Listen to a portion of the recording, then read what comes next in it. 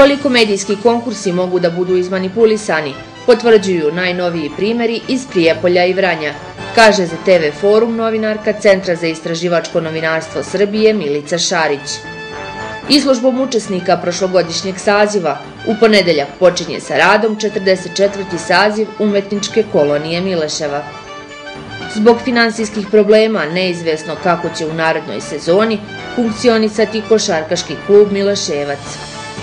U petak pretežno sunčano sa temperaturom do 30 stepeni. Pratite vesti televizije Forum. Ja sam Aldina Lujnović.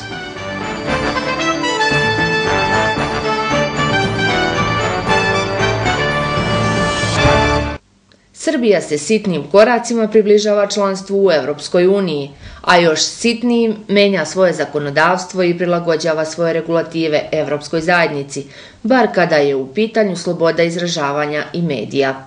Prema izveštajima Evropske komisije za 2016. i prvi deo tekuće godine, jedino u ovim oblastima nije zabeležen napredak. U izveštaju Evropske komisije za prvih šest meseci ove godine ocenjeno je da napadi na novinare i zastrašivanje novinara predstavljaju razlog za zabrinutost. I u Centru za istraživačko novinarstvo smatraju da je stanje u medijima zabrinjavajuće, kao i da nisu napravljeni značajniji pomaci u odnosu na 90. Mislim da najveći problemi sa kojima se mi ovde suočavamo, s kojima se naše kolege suočavaju, e, jeste taj e, odnos prema novinarima, to su ti pritisci putem, eh, pre svega putem financija, ali negdje više možda eh, kontro, kontrolisanjem novinara eh, kroz strah. Kao da imamo konstantno neki strah šta može da nam se dogodi, da li će nas neko tužiti, da li će biti, kao što imamo presuda protiv kolega, da li će nas novčano kazniti, da li će nas pratiti, da li će upasti u stan nekome od nas i na taj način pokušavati nas zastraše. Taj strah koji upravlja nama, našim kolegama, nije dobar i mislim da ne, ne, do, ne doprinosi nikakvom poboljšanju u, u medijima, odnosno u prosto načinu rada, kvalitetu medija i tako dalje. I to je sve povezano negdje sa tom autocenzurom, koja mislim da je jedan od najvećih problema uh, u Srbiji. Čini mi se da koliko, koliko to ima uh, cenzure i manipulisanja strahom, da ima i autocenzure, jer ti prosto E, znaš da ukoliko ne budeš radio posao onako kako ti kažu, kako ti e, uh, oni ko te plaća, kako ti, da kažem, naredi, da ti nećeš dobro da prođeš tog meseca, da nećeš imati da platiš račune sledećeg meseca. I to nas nekako se nema kontroliše. I novinarska udruženja kažu da položaj novinarske profesije u Srbiji nikad nije bio gori. Novinarstvo se danas suočava sa sve većim političkim i ekonomskim pritiscima, cenzurom i autocenzurom, ugrožavanjem bezbednosti, nedostatkom profesionalne obuke. Mi imamo zapravo jednu veoma lošu kombinaciju, tako reći zapaljivu kombinaciju.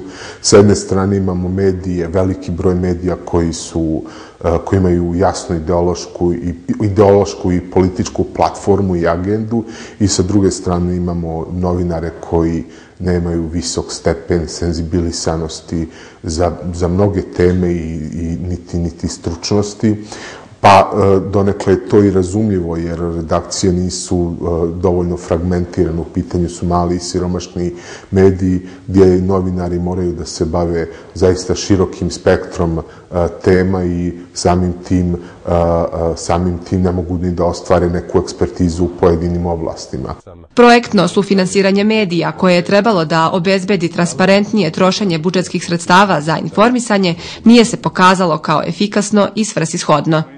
CINS je, Centar za istraživačko novinarstvo, o tome pisao prošle godine, e, koliko to može da bude izmanipulisano, koliko ti medijski konkursi ne funkcionišu. Imamo najnovije primjere iz Vranja, iz Prijepolja, o tome na koji način se zapravo dodeljuju ta sredstva no, e, medijima koji nisu to zaslužili. I to su sve neke ta neka nefer utakmica u kojoj se mi stalno nalazimo i sa kojom pokušavamo da se borimo i koja ne pospešuje uopšte stanje uh, u kojem se nalazimo. Kako je ocenjeno u polugodišnjem izveštaju Evropske komisije za ovu godinu, transparentnost privatnog vlasništva nad medijima i sufinansiranje medijskog sadržaja treba efikasno nadzirati. Evropski parlament je sredinom juna usvojio rezoluciju o Srbiji, po kojoj je sloboda izražavanja takođe ocenjena kao oblast u kojoj nema napretka.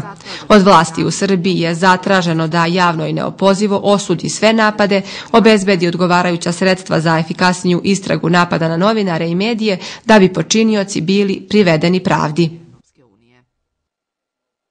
Iako su jutros mnogi pomislili da je semafor u Podvaroši kod Novog mosta, koji je sa radom počeo pre 10 dana, već u kvaru, u pitanju je bio samo planirani prekid privremenog režima rada, kako bi se regulisalo napajanje strujom.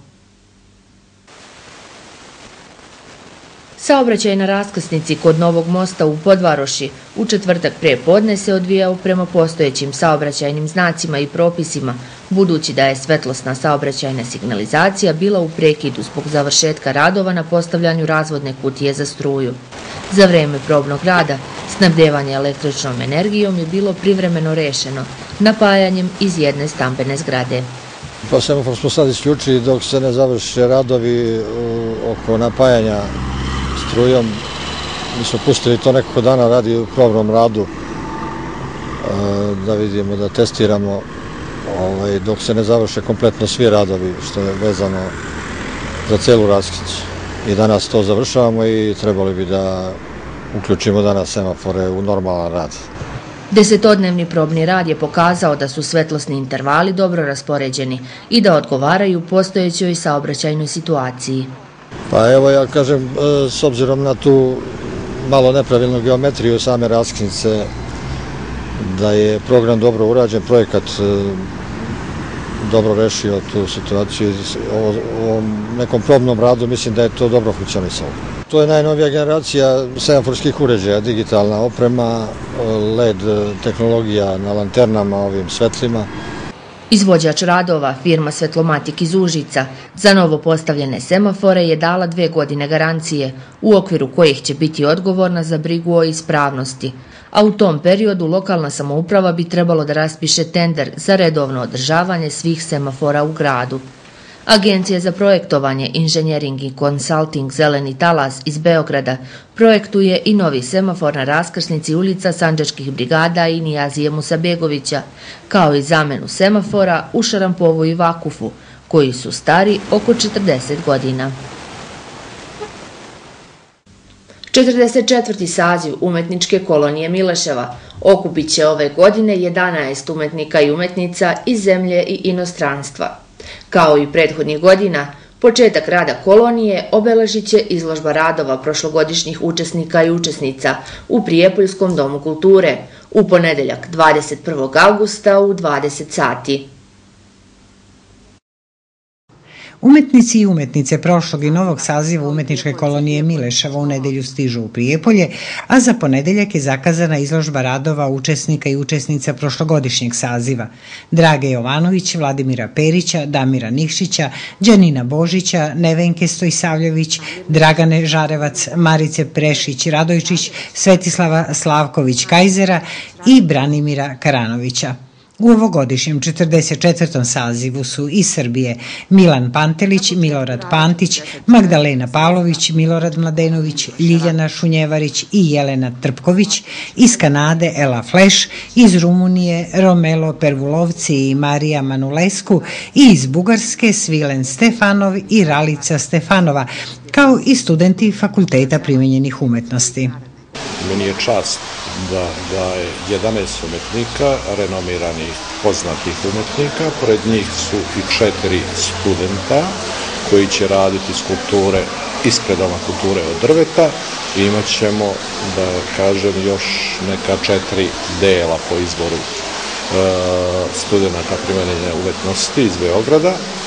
Svake večeri u 20 sati u Galeriji Doma kulture Prijepoljci i Prijepoljke će moći da pogledaju prezentaciju učesnika i učesnica ovogodišnjeg saziva kolonije. Mislim da je ovo dobra prilika da pozovemo pogotovo stručnu javnost, a i sve građane, da prisustuju ovo za mene posebno važnog dela u Domu kulture, jer malo ko ima ovakvu umetničku koloniju i legat slika koji se meri i drugih umetničkih dela preko 400.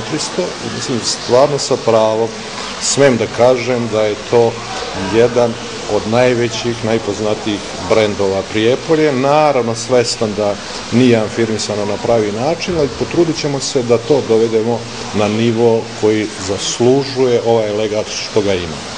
Tokom boravka u koloniji, učesnici i učesnice 44. saziva upoznaće se sa prirodnim bogatstvom i kulturnim nasljeđem Prijepolja i susetnih gradova i crpeti inspiraciju za svoje umetnička dela koja će sljedeće godine biti predstavljena Prijepoljskoj publici.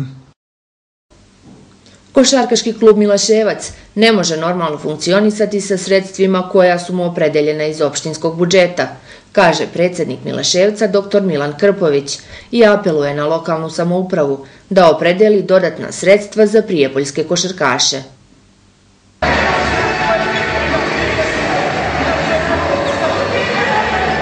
Ovako je bilo 23. aprila prošle godine kada je Mileševac osvojio prvenstvo i izborio učešće u prvoj ligi Zapad, trećem rangu takmičenja u Srbiji, u kojem su prošlu sezonu završili na sedmom mestu sa pozitivnim skorom pobjeda i poraza 14-12. Oni koji su pratili prijepoljske košarkaše znaju da su prikazali odličnu igru i ravnopravno se takmičili sa ekipama koje imaju višestruko veće budžete. Na domaćem terenu su poraženi samo četiri puta, pet puta su slavili u gostima, a u Prijepolju je savladani prvak, sadašnji član druge lige Srbije, Kliki Zarilja. Mi smo 16 godina čekali. 16 godina smo čekali da Prijepolje ima srpsko ligaša i dočekali. Mislim da bi bila velika šteta za poklonike sporta, posebno košarke, da se to ispusti. Kako sada stoje stvari, dobre igre košarkaša Mileševca bit će prošlost, a prijepoljske košarkaše čeka povratak u drugu regionalnu ligu. Opština im je opredelila 1.416.000 dinara za ovu godinu, što je manje čak i od prošlogodišnjeg iznosa. Košarkaški klub Mileševac ne može da funkcioniše sa datim novcem. Jer mi u prvoj srpskoj ligi, u kojoj se takmičimo, ne možemo da opstanemo znači, sa novcem koji smo dobili lokalne samoprave. Mi smo svesni toga da je situacija u celoj zemlji vrlo teška, pa i u našoj opštini. Međutim, ne možemo da se takmičimo sa gradovima u kojima je budžet za košarku konkretno. Znači, Priboj dobija 5 miliona dinara oni nam pokupiše sve najbolje igrače. Oni su u stanju da plate prevoz na utakmicu, na, tre, na trening i da vrate igrače u Prijepolje. Zlatar iz Nove Varoši ima budžet od 4,5 miliona, imaju panoramu gde su smešteni, imaju obrok, smeštaj, plus što im plaćaju, na primjer, minimum 25.000 dinara mesečno, pa naviše. Mi se ne možemo nositi sa tim bogatijim klubovima iz najbližeg okruženja. Da ne pričam o pazaru, da ne pričam znači, o ostalim klubovima koji su mnogo bogatiji i koji imaju novce.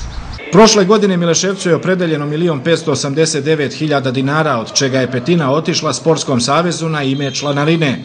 I sa tim sredstvima izgurana je sezona, a postignuto je mnogo više od opstanka u prvoj ligi. Zahvaljujući samo upravnom odboru i pomoći prijatelja. Znači, samo zahvaljujući tome. Znači, uložili smo znači, maksimalan napor.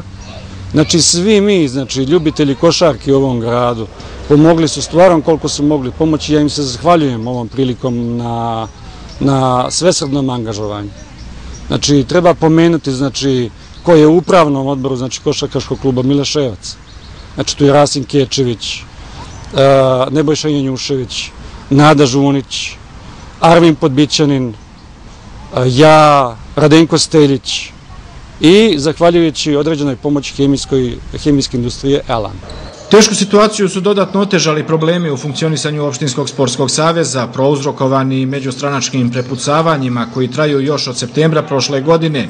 Spisak ljudi koji su u situaciji da pomognu klubu se skratio, a vremena je sve manje. Sve nam žive pokupiše. Mi dinara nismo dobili znači, za od početka prvenstva, jer nama prvenstvo počinje znači početkom oktobra, a završava se krajem aprila. Znači, mi smo dobili prvi novac tek prvog šestog ove godine. A treba plaćati sudije dnevnice, prevoz, sale. U Mileševcu deci se ne naplaćuje članarina, veoma česta u drugim sportskim klubovima. Uprkos igranju cele sezone na Recku, postignuti su odlični uspesi i sa mlađim kategorijama. Počeo od mlađih pionira, pionira, kadeta, juniora, osvojili su sve što se moglo osvojiti u ovoj kategoriji takmičenja, znači u zapadnoj Srbiji. Znači mi smo bili prvaci znači, i u mlađim pionira, kod mlađih pionira, i kod pionira, i kod kadeta, znači i kod juniora. Kako sada stvari stoje, prijepoljski sportski klubovi mogu računati na oko 5 miliona dinara koji im se mogu raspodeliti kroz posebne programe. Ovo nam je potvrđeno i u opštinskom veću. Od 26 miliona budžetskih para za sport, oko 15 miliona je raspoređeno kroz redovna sredstva klubovima. Preciznu cifru ne znamo jer nigde nije ni objavljena, kao ni iznosi koje su klubovi pona osob dobili. Od ostatka polovina će otići na rešavanje problema u Sportskom savezu, odnosno, kako nezvanično saznajemo, na isplatu za ostalih plata zaposlenima i sudskih troškova nastalih nakon njihovih tužbi. Kako i kome će biti raspodeljen ostatak, zavisi od raspoloženja lokalne vlasti, pre svega predsednika opštine. Ako Pripolje želi da ima svoj senjorski košarkaški klub, da ne budemo inkubator Priboju i Novoj Varši, Mi moramo više uložiti, jer sve ovo što radimo, radimo za dobrobit zajednice i za mlađe generacije. Znači, mi u klubu, znači, svesredno to činimo. Ja ovom prilikom molim odgovorne iz opštine da nam izađu u susret i da nam, ako mogu i ako su situaciji, daju nešto novce iz dopunskih programa da bi mogli da opstanemo. Prva žrtva očajnog finansijskog stanja u Mileševcu bio je dugogodišnji kreator igre i uspeha Mileševca, trener Igor Golubović, koji je podneo ostavku početkom jula i trenutno pregovara o angažmanu sa nekim od timova iz okruženja. Ako stanje ostane nepromenjeno, njegovim stopama će i većina prošlogodišnjeg prvog tima.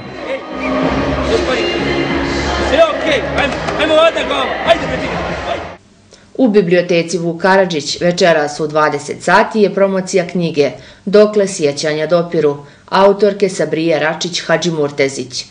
Posle knjige Mir iz duše, objavljene 2013. godine, ovo je druga zbirka priča u kojima autorka donosi sećanja na detinstvo i mladost u Prijepolju.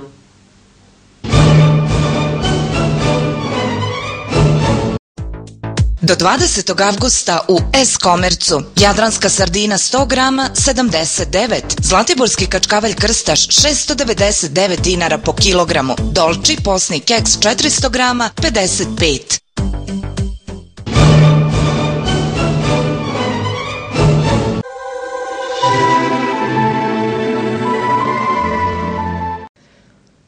Petak će biti pretežno sunčano i toplo vreme, sa temperaturom do 30 stepeni.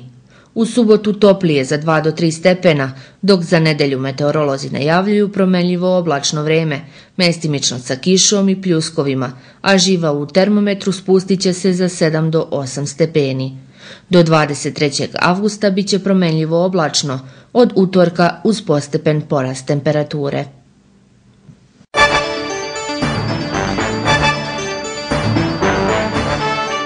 Pogledajmo još jednom kratak pregled vesti. Koliko medijski konkursi mogu da budu izmanipulisani, potvrđuju najnoviji primjeri iz Prijepolja i Vranja, kaže za TV Forum novinarka Centra za istraživačko novinarstvo Srbije Milica Šarić. Izložbom učesnika prošlogodišnjeg saziva u ponedeljak počinje sa radom 44. saziv umetničke kolonije Mileševa. Zbog finansijskih problema neizvesno kako će u narodnoj sezoni funkcionisati košarkaški klub Miloševac. U petak pretežno sunčano sa temperaturom do 30 stepeni. Poštovani gledalci i gledateljke, pratili ste vesti televizije Forum. Hvala na pažnji. Prijatno.